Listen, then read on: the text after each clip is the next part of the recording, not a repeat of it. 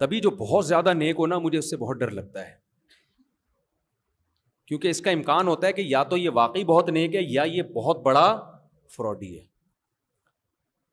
जो बहुत ज़्यादा नेक हो ना, हज़रत हज़रत मैं कहता, अल्लाह खैर करे ये अजीब सा ना हो कहीं। और ये भी इसी से याद रखो, ये ज़्यादा नहीं मैं बात करूँगा जल्दी से आगे जा रहा हूँ कि जो बहुत अच्छा आमिल होता है ना, रूहानी इलाज करा रहा है उससे यकीन कर लो ये कोई बहुत बड़ी चीज़ है ये। ये बहुत बड़े नुकसान में डालेगा आपको। जो छोटे मोटे उल्टे सीधे आमिल होते हैं ना नमाज़ नहीं पढ़ रहे लड़कियों से पर्दा नहीं कर रहे वो शक्ल से चरसी लग रहे हैं ये वाले आमिल कम खतरनाक हैं। आमिलों की जब बात आए तो दिल पे ले जाने दो। इसके बगैर इन आमिलों की अकीदत निकलेगी नहीं। आज एक फैमिली आई मेरे पास असर के बाद। एक आमिल ने तलाक दिलवा दी दोनों वो, आमिल भी बहुत नेक शुमार होता है। उसको बताया, तुम पे जादू किया है, वो लड़की वहम में चली गई, मुझ पे जादू है। और वजीफे पढ़ रही है बैठ बैठ के, वजीफे पढ़ पढ़ के, और खोपड़ी आउट हो गई उसकी। हालाँकि कोई जादू नहीं है उसके ऊपर। मियाँ बीवी के इख्तलाफात हैं, उनको हल किया जा सकता था, उनकी गलती किसी बुज़ुर्ग के पास चले गए। उन बुज़ुर्ग ने कह दिया, असल में तुम पे अमलियात हैं, तुम ये पढ़ा करो, अब बहू को वहम हो गया, मुझ पर क्या है? अमलियात। अब जब वहम हो गया कि अमलियात हैं तो फिर ये भी वहम होगा, सास ने कराया है, नंद ने कराया वो घर में ऐसा छस्ता बस्ता घर की ऐसी की तैसी करा दी। उसकी नीयत नहीं होगी, लेकिन नतीजा यही निकलता है। छोड़ दो सारे टेंशन इतनी उन्होंने उठाई हुई हैं, और एज उनकी हो गई तो इस उम्र में तो ये सब कुछ होता है। और आधे सर का दर्द भी बहुत सारे लोगों में इसका जादू से क्या ताल्लुक है? लेकिन जा जाके इन पे जादू है तो इन पे यूँ है तो इन पे फलाना है तो इनको डिमकाना है।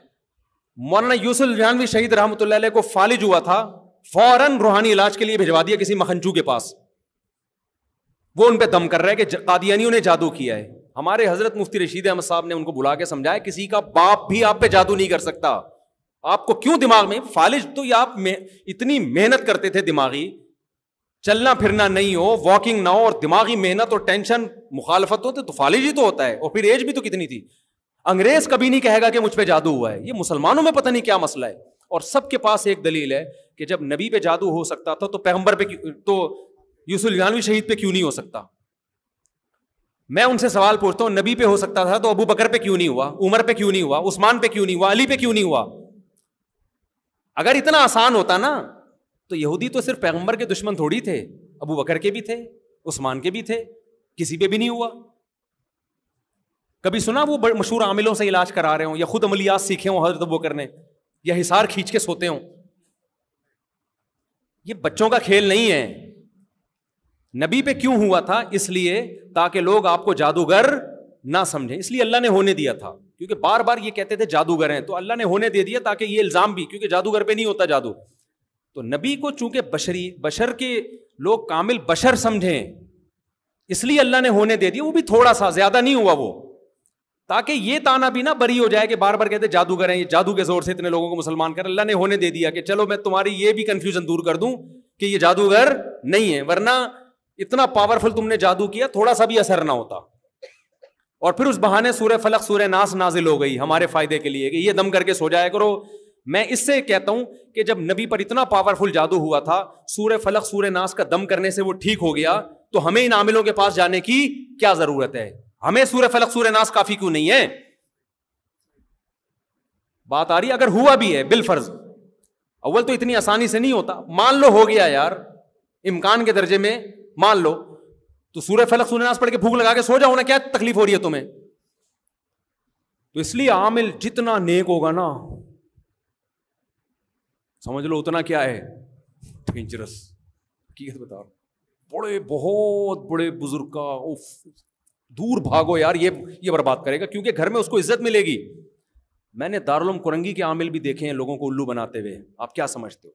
दारुलम कुरंगी की बदनामी नहीं है इसमें, क्योंकि दारुलम कुरंगी या जाम रशीद एक दीनी इदारा है, उसने कभी नामिलों का ठेका लिया हुआ है। बिनौरी टाउन की मैं मुखालफत नहीं कर रहा, बिनौरी टाउन एक दीनी इदारा है। फतवा बिनौरी टाउन से लो। हम तो खुद लोगों को कहते हैं, यार, ये मसला है, बिनौरी टाउन ऑथेंटिक फतवा मिलेगा। एक बहुत बड़ा इल्मी इदारा है। ये फतवा दारुलम कुरंगी से लो, ऑथेंटिक फतवा मिलेगा। रूहानी इलाज की बात कर रहा हूँ। रूहानी इलाज ना बिनौरी टाउन में, ना जामे जो मेरा इदारा है जामे रशीद, मैं उसकी भी मुखालफत करता हूँ इसमें, ना दारुलम कुरंगी में। समझते हो? तो दीनी मदरसे खराब नहीं होते। खराब लोग दीनी मदरसों का शेल्टर इस्तेमाल करते हैं। और हमारे बुज़ुर्ग बाज रात को खिलाफत दे देते हैं। वो खिलाफत इस बेस पे देते हैं, वो समझते हैं कि ये नेक है। तो इसमें गलती भी हो सकती है इंसान से। वो अपने लिहाज से अमानत से काम ले रहे होते हैं, लेकिन उनको क्या पता होता है कि पीछे ये सेटअप चला रहा है। तो ये नस्बतों से, इस मौके पे ये रूहानी वानी की नस्बतों से मुतासर ना हुआ करो कि वो फलाने पहुँचे हुए, फलाने पहुँचे हुए। आप बोलो, हमसे बड़ा पहुँचा हुआ इस फ़ील्ड में कोई भी नहीं है, किसी के बाप में दम है तो आओ हम पे दम, जादू करके दिखाए। ऐसे बोल दिया करो। कुछ भी नहीं होगा। बोलते हुए डरोगे तो फिर हो जाएगा। बाद लोग ये करते, कोई कोई मुझ पर करके दिखाए। देखो, तू तो वैसे ही नफसियाती मरीज़ है भाई। तेरे को तो फूक लगाओगे मर जाएगा तू। वो मैंने वाक्य सुनाया था ना, हमारे छत पे जिन्नात आ गए थे। थे वे नहीं और ड्रामेबाजी हो रही थी तो वो मोहसिन साहब नीचे जाके मेरा बयान सुना हुआ था कि जिन्नात के सामने कॉन्फिडेंस ज़ाहिर करो तो जिन नहीं डरते। तो मोहसिन साहब अल्लाह उनकी मफरत फरमाए, इंतकाल हो गया। वो क्या कह रहे रात को हाथ जोड़ के छत की तरफ़ कह रहे हैं, भाई, हम लोग तुमसे डरते वरते नहीं हैं। खुदा के लिए यहाँ से चले जाओ। जिन, अगर होगा तो बोलेगा, बेटा, तेरा स्टाइल बता रहा कि तू जितना डरता है इतना। हमने लिफ्ट ही नहीं कराई। हमने कहा, होंगे भी तो हमारी भला से। हालाँकि मैं डर रहा था अंदर से। डर इससे नहीं रहा था, जिन्नात हैं। मैं कह रही थी गड़बड़ क्या हो रही है? क्योंकि छत पे पत्थर हिल रहे हैं, ईंट हिल रही है। अबे, हिलाने वाला नज़र नहीं आ रहा, ईंट कहाँ से हिल रही है? तो तबड़ी खौफ तो आएगा ना इंसान को, ये ड्रामा क्या हो रहा है? लेकिन हमने कहा, ना कोई ताबीज वो फिर पता चला, वो टैंकी में वो वो गैस का जो है ना प्रेशर बन के वो चीज़ें हिल रही थी। तो बाज़ दफ़ा किसी चीज़ की लॉजिक समझ में नहीं आ रही होती। तो आप बोलो, यार, पता नहीं क्यों हो रहा है, लेकिन किसी वजह से हो रहा है। जिन्नात पे नहीं डाल दिया करो, ये कर रहे हैं। तो अजीब अजीब ड्रामे हैं पाकिस्तान में। खैर अब बताओ कहाँ से बात चल रही थी?